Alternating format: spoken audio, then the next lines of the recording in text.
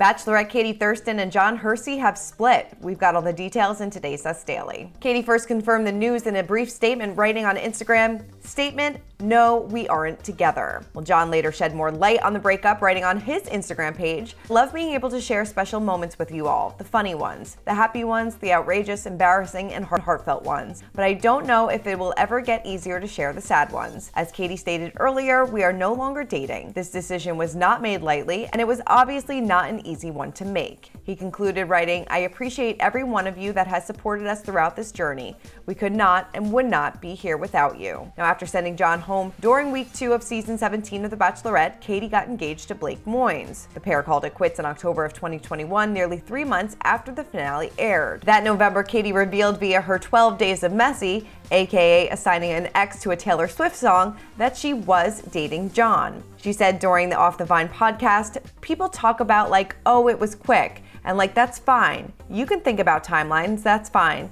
The show is in its own quickness but we just kind of wanted to own exactly what we are. We didn't want to sneak around in public and have people take photos of us or come up with their own agenda or narrative. Moynes, for his part, implied that he felt Katie was emotionally cheating on him with John, which she denied, saying there was no overlap. Katie and John previously said that they had moved in together. Hey everyone, I'm Christina Garibaldi, the host of Us Weekly Celebrity Coverage.